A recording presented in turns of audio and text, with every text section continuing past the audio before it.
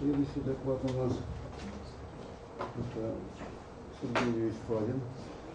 Оценка величины прекращенной дозы при проведении радиационно-опасных работ с использованием дистанционно управляемых механизмов.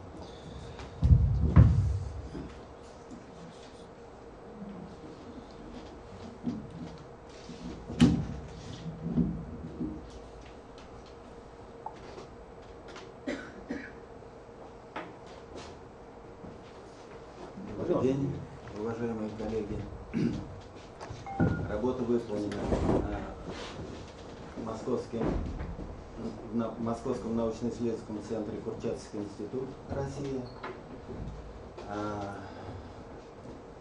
Работа называется «Оценка величины предотвращенной дозы при проведении радиационно опасных работ с использованием дистанционно управляемых механизмов». Более конкретно, э, работы выполнялись при работа была выполнена и исследования были выполнены при выводе из эксплуатации реакторов МР и РФТ. Это исследовательские реакторы большой мощности. Вот символика этих реакторов. А, краткое введение. Петлевой материаловедческий реактор МР мощностью 50 МВт был разработан и введен в эксплуатацию в 1962-1963 году взамен первого отечественного водографитного материаловедческого реактора РФТ на обогащенном уране, который был сооружен в 1952 году и частично демонтирован. А, проведу маленький экскурс. Возможно, вам э, эта информация уже, естественно, знакома. А, создание эксплуатации реакторов проходили в условиях, когда международная отечественная система радиационной защиты населения находились в стадии формирования. В течение периода эксплуатации реактора РФТ нормативы по дозовым нагрузкам персонала составляли 150 миллизиверт в год или 15 БМ в год. Возможно, э, в той терминологии даже рентген. В 1959 году МКРЗ, Международная комиссия радиологической защиты, выписала свою первую публикацию, в котором были установлены пределы дозы для персонала 50 миллизиверт в год или 5 БР в год. А, собственно, вот по этим нормативам происходила эксплуатация реактора МР, которая была завершена в 1993 году. Для населения, соответственно, норматив был 5 миллизиверт в год, ну, а работы по выводу реактора из эксплуатации уже проходят при современных нормативах, э, как вам известно, 20 миллизиверт в год. Реакторы ФТМР были созданы для решения технически сложной задачи разработки создания а, конструкции и топливных композиций теплоуделяющих элементов для ядерных реакторов различного назначения. Имеется в виду ну, практически все существовавшие в Советском Союзе Э, энергетические установки от э, ледокольных, транспортных, э, лодочных до энергетических всех типов ВВР, РБМК, АСТ и так далее с газовым теплоносителем жидкометаллическим.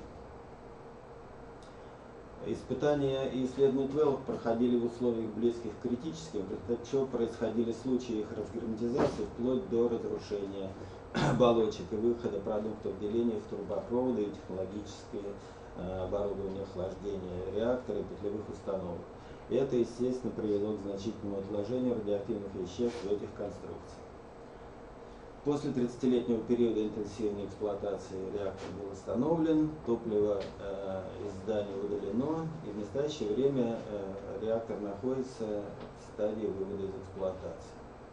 При этом, естественно, Э, при демонтаже образуется значительное количество радиоактивных отходов. Вот на этом слайде э, представлено то, э, что образуется в оценке по количеству и активности радиоактивных отходов. Значит, вот мы видим, что общее количество, общее количество 1500 тонн. Значительная большая часть из них относится к низкоактивным, 300 тонн среднеактивных. И здесь не приведена оценка по высокоактивным, но это порядка 3-5 тонн. Суммарная же активность всех РАО оценивается в 10-14 беккерель. Так что э, вы понимаете, что работы с таким объемом э, РАО, они представляют значительную опасность в плане облучения персонала.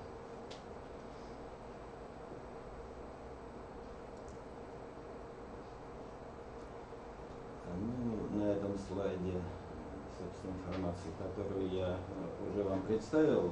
Единственное, вот э, я вам скажу, что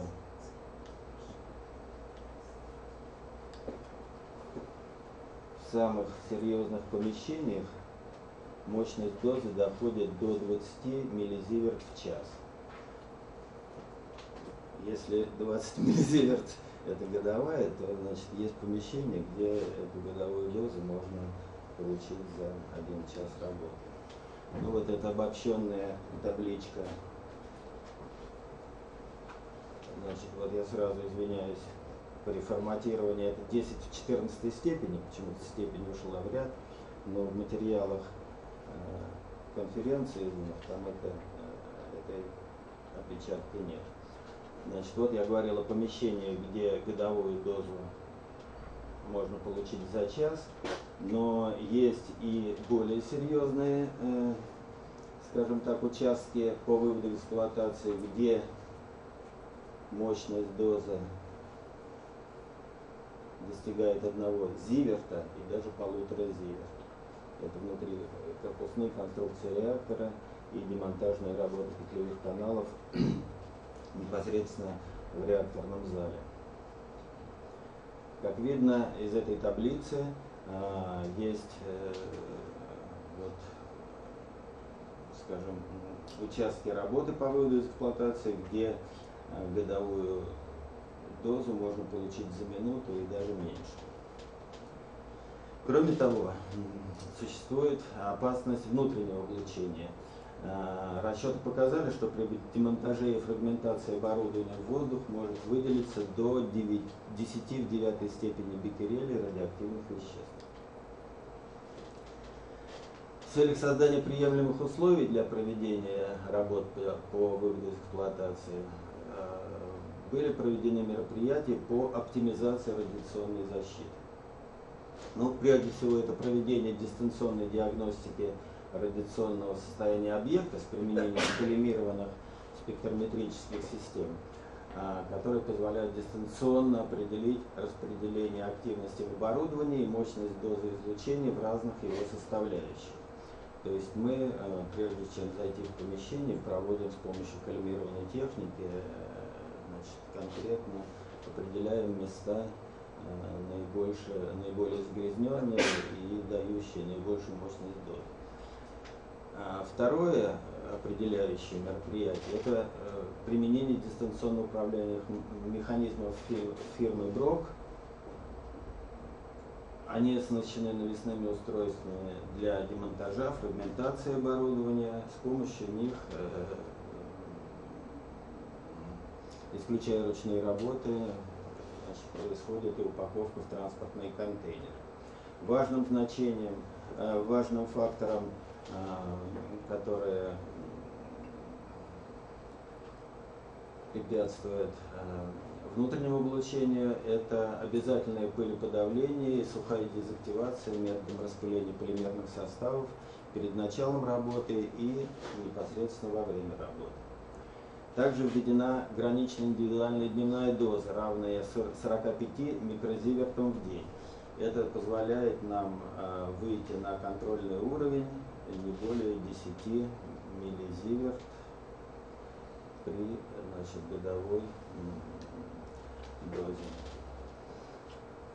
Индивидуальный дезинтерический контроль, э, кроме ТЛД, осуществляется еще дополнительно прямо показывающим дозиметром, э, дозиметром ДКГ, ДКГ-05D с звуковой уставкой. То есть если человек выходит на вот эту дневную контрольную дозу, то значит, э, независимо от того, какое количество времени он проработал э, при, вот, в работах по выводу, значит, звуковой сигнал оповещает, что его дневная доза выбрана и значит, он выводится в нормальные условия труда. Ну и два момента подбор обучения персонала и документальное оформление порядка проведения работ ППР. Ну, так они звучат вроде бы как обязательный фактор, но, э, в общем, мы поняли, что даже привлекая персонал достаточно опытный, здесь еще я сделаю такую ремарку, поскольку реактор остановлен 20 лет назад, а, то персонала, который его эксплуатировал, который досконально знает все детали э, установки, его практически не осталось. Поэтому мы привлекаем персонал ну, достаточно опытный, это в основном из НПО «Радон», то есть люди, которые знают и умеют обращаться с радиоактивными отходами, но тем не менее э, специфика нашего реактора, нестандартного исследовательства, она значит, вот, в обязательном порядке их обучение э, подразумевает, а порядок оформления работ ППР это детальное, э, мы детально расписываем каждый вид работы. То есть э, недостаточно, допустим, определить просто порядок работы, мы вплоть до того, какой инструмент, какого размера, какой последовательности будет использоваться при каждой процедуре, ну, с тем, чтобы избежать таких ситуаций, когда что-то не хватает или что-то на рабочем месте нет, человек уходит, снова приходит, дополнительно облучается, вот это все мы старались избегать. Ну, вот на этих слайдах, собственно, показаны картинки, вот использование дистанционно управляемых машин, то есть это реакторный зал, это вот сухое хранилище, где отработанные тепловыделяющие сборки находятся, вот. Персонал э, находится в защищенных помещениях. Через э, видеотехнику он видит, э, как работает машина, управляет ею. Вот на этом э, роботе установлен как раз коллимированный э, либо гамма-спектрометр, либо э, вот, техника гамма-визор, либо гамма-спектрометр. То есть вот э, мы определяем и, и мощность дозы, и, естественно, э, нуклеидный состав объектов, которые предстоят демонтажу. Здесь робот режет петлевые каналы. И здесь с помощью робота э, укладывается фрагментированные, фрагментированные элементы в транспортный контейнер. Вот здесь не очень хорошо видно, но вот я говорил о пылеподавлении, вот, вот эта вот трубочка распыляет как раз, несмотря на то, что здесь людей нет, значит, вот она распыляет э, полимерный состав, который уменьшает выход аэрозолей при проведении работы. Ну и, собственно, перейдем к тому, что же, э, чего мы добились с помощью э, вот этих всех мероприятий, о которых я говорил, проецируя предыдущий слайд. А, предотвращенные дозы, напомню, это часть дозы, на которую э, она уменьшается в результате защитных действий.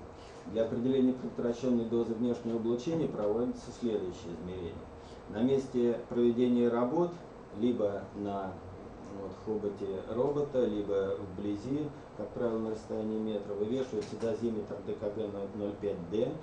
Также с помощью этих дозиметров проводится ежедневное измерение индивидуальных дневных доз персонала, прямо показывающими дозиметрами, и определяется коллективно предотвращенная доза внешнего облучения, как разность между показаниями дозиметра на месте проведения дистанционно управляемого работы дистанционно управляемого механизма и коллективной дозы, полученной персоналом, который этим э, механизмом управляет, но, как я говорил, уже находится в защищенном помещении. А, на основании контроля объемной активности воздуха она проводится также в зоне нахождения персонала и в месте, где проводится работа роботом, а, проводится, э, дается оценка ожидаемой дозы и фактически приобретенные, полученные дозы, и также определяется э, предотвращенная доза э, за счет внутреннего поступления. Ну вот на этой таблице приведены данные по предотвращенной дневной дозе внешнего облучения. Э, Как видим, в зоне работы в зоне работы, работы Дума до 20 миллизиверт э, в день э, зафиксирована э, доза. Приведено количество персонала, участвующего в работе. Вот это их средняя дневная доза персонала. Я вам приводил э, 45 микрозиверт. Вот она примерно выбирается во время дневной работы. Коллективные, соответственно, определяется доза персонала для различных работ. И э, делается э, значит, вывод, что дневная доза предотвращенная 20 миллизиверт в день. То есть вот на такую величину мы уменьшаем э, дозу персонала.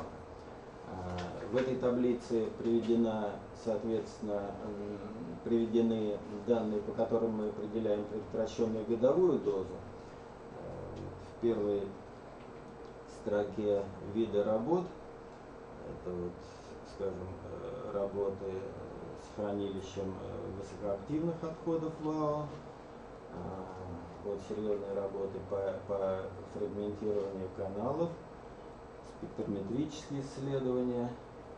Значит, эти, эти вот дозы зафиксированы как раз в месте, проведения этих работ при отсутствии персонала, это вот в зоне работы дома.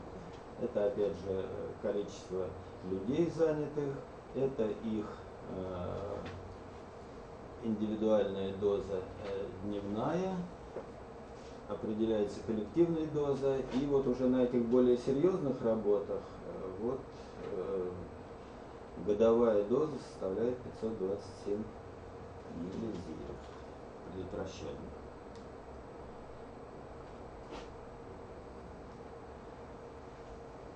Здесь представлены работы по демонтажу так называемых э, петлевых э, помещениях петлевых установок.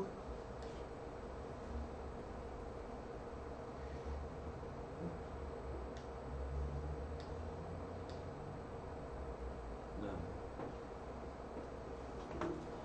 Здесь работы более серьезные. И ну, примерно та же структура э, таблицы. Количество персонала. То, что э, на, э, измеряется э, значит, доза на броках на машинах, персональные, персональная доза участников работ и, значит, соответственно, коллективная предотвращенная доза уже составляет 5,5 зиверт при выполнении этих работ. Также, значит, мы оценивали предотвращенную дозу по,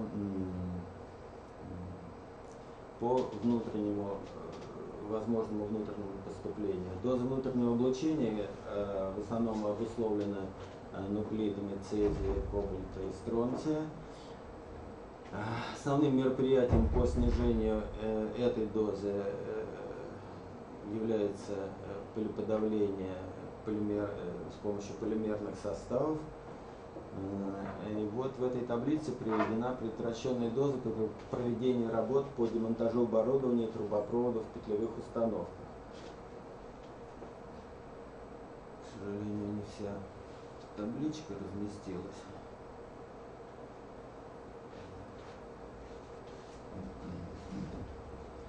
Э, э, э, для определения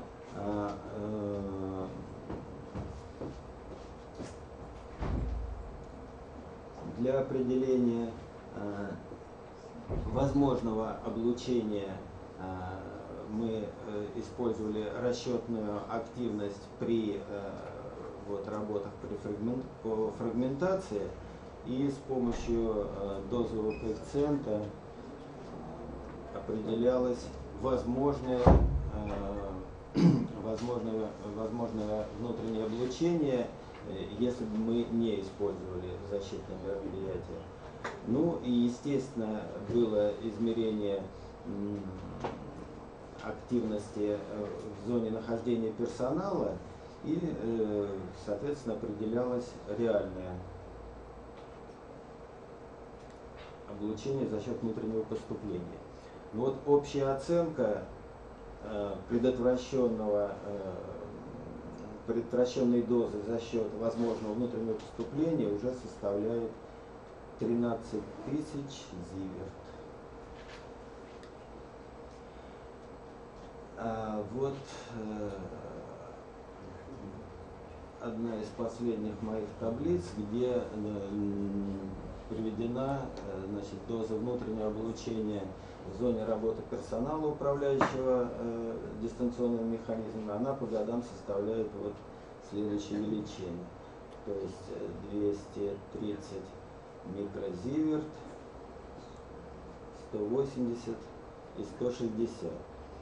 А, скажем так, достоверность этих наших э, данных подтверждается ежегодными из- э, измерениями персонала на установке СИЧ, э, которые показывают, э, что привлекаемый к демонтажу персонал э, имеет дозу за счет внутреннего поступления, не превышающую 50 микрозиверт в год.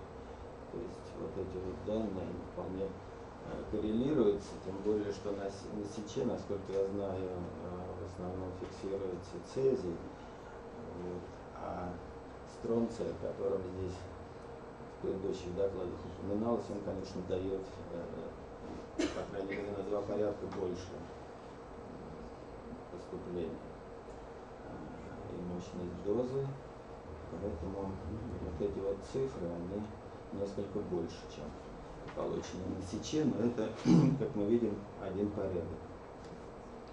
Ну и в заключение я приведу таблицу, которой э, вот, приведено количество персонала по годам, которые участвуют э, в работах по выводу эксплуатации. Это работы длительные, как мы видим. Еще предстоит, наверное, процентов 40 э, выполнить работ по фрагментации и дезактивации помещений, в котором были реакторы расположены. А, Как видим, ин- индивидуальная эффективная доза в миллизивертах вот, составляет эти величины, то есть мы где-то на одной десятой от контрольной величины и, соответственно, одной двадцатой от допустимой где-то пятая часть от контрольного установленного уровня. А, Почему я, э, вот вер- вернемся э, первому слайду, где я упоминал эм, нормативы предыдущих лет. А, Надо сказать, что в Курчатском центре э, не первый реактор выводится из эксплуатации. Конечно, это менее серьезные установки, э, но там, э, скажем так, защита от переоблучения, она была за счет количества людей. То есть, э, скажем, использовалось до тысячи человек, которые э, там при нормативах 150 э, миллизиверт в год или 50 миллизиверт в год, они, значит, вот выполняли разовую операцию по упаковке и привлекалась следующая сотня или, или, или больше людей, и все это было распределено на них. Значит, вот э, силу того, что реактор МР остановлен э, достаточно давно, вот наш персонал насчитывает порядка 50 человек, непосредственно э, работах по фрагментации заняты еще более э, меньше людей. Но тем не менее, значит, выполняя работы по удалению активности, которые в десятки сотни раз превосходят реакторы предшественники, мы, значит, тем не менее, за счет мероприятий, о которых я вам говорил, вот не выходим за эти пределы эффективной годовой дозы. У меня все. Спасибо. Спасибо. Я прошу прощения, а вы делали оценки, э, сколько стоит ваше мероприятие на, скажем, 1 миллизиверт сэкономленной дозы? Потому что, понимаете, э, я почему задаю вопрос, когда произошла Чернобыльская катастрофа, там с перепугу делали очень много мероприятий, которые должны были защищать. Но когда прошло время, начали считать, чего это стоило. Оказалось, что деньги угачены огромные, а уменьшение, извините, минимально, что людей достаточно было, допустим, лучше кормить, и лучше медицински обслуживать. Также и в вашем случае может действительно лучше набрать штатов в 5 раз больше, и оно дешевле обойдется. То есть экономическая оценка делать? Да, естественно. Э, ну вот я говорил о том, что предыдущие работы выполнялись э, большим количеством персонала, естественно, за зарплату. Вот. А роботы чего-то стоят? Значит, вот такая вот прекрасная работа с такой прекрасной защитой стоит 2,5 миллиарда рублей. Это средства, выделенные по федеральной целевой программе на проведение этих работ. Наибольшая, конечно, сумма ушла на приобретение вот этой техники, наименьшая на ну, зарплату и поощрение. Что дешевле? Ну, э, естественно, здесь уже морально-этические вопросы. Постойте, причем здесь морально-этические? Так, допустим, набрали в два раза больше людей, они получили по 50 миллизивертов норму, а так вдвое меньше людей и роботы. Ну так э, те же 50 люди получили, моральная этика соблюдена, но мы еще за роботов Нет, деньги заплатили больше, чем зарплату удвоенного числа. Вот меня эта оценка интересует. Они получили не 50, а 1, 6, 3, 5 максимум. То есть на порядок меньше. Э, То есть оценки нет. Сколько на миллизиверт рублей пошло? Э, ну, наверное, можно вот эти 13 тысяч разделить нет, это, собственно, ну, по-моему, очевидно. Ну, людей же надо беречь. Если, если, бы, если бы сказали, да, вот, вот мы вам даем э, там, половину Москвы, вы ее сожгли, грубо говоря, отправьте на тот свет, но зато это не будет ничего стоить. Только... Производите ли редко у вас или не Твеллы мы отправляем на переработку на маяк, на маяк да, и дозовая нагрузка это только вот, извлечение, упаковка, вот, То есть трансуранов у вас практически не должно быть? Трансураны... Они прелестки появились у вас? Трансураны есть. Я вот вначале говорил о том, что поскольку реактор исследовательский, поскольку испытывают все типы, все типы а, все типы э, твелов. Э, а, Да. Но значит, изначально реактор предполагался для ресурсных испытаний, но потом э, со временем, когда скажем, сборка вырабатывала свой ресурс, было интересно, а сколько же она может проработать вообще.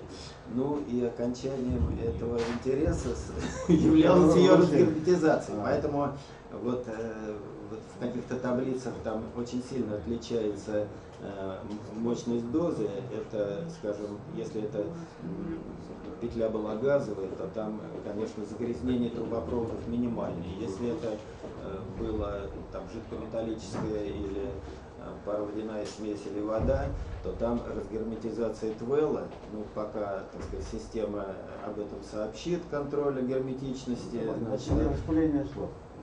Да, да. Но вы не контролируете альфа-излучателей совершенно. И гамма спектрометрия, это не, то есть вы не знаете, как у вас в атмосфере даже было альфа-излучателей. Гамма спектрометры на роботах перед началом это, работы. это гамма, а, а- а- альфа, альфа плутония у вас не будет. А, Не будет, естественно. Поэтому инга- дозы ингаляционные, они будут больше. ну, возможно, да. Я не знаю насколько, но на, насколько там будет. Нет, ну на самом И деле... стечи- И стечей тоже не обнаружено. Нет, на, сам- на, самом, на самом деле у нас э, есть в центре э, э, ну, аттестованные лаборатории, которые и спектральный, спектральный анализ тоже проводят, и поэтому уж так сказать, что мы там приступаем к очередному объекту, не, не зная там только э, Ну, нет, просто вот в помещении, когда прокачивается воздух через смотрится ли там наличие спектрей, наличие плутония остальных. Вряд ли, это дело, дело, дело, дело. Спасибо, еще вопросы. Мне можно? Для информации. Вот я так понял, основные элементы строны цезий, копоть, да? Это по внутреннему Ну, поступлению. Какой, не, вообще. А какие вот примерно, а другие, какие основные элементы, какое их примерно соотношение? А, ну э, вот как раз для разных петель они разные. Всё В каких-то случаях, в каких-то случаях, ну по по активности, в каких-то случаях это э, ну, ну поровну, а где-то есть преобладание и Ну, кобальта, стронция. Да. Но, но есть и петли, вот в силу того, что в них поступило и какая специфика вот, Твелла, там были разрушения или нет, есть и там, сочетание 10-90%. Спасибо. Еще вопросы?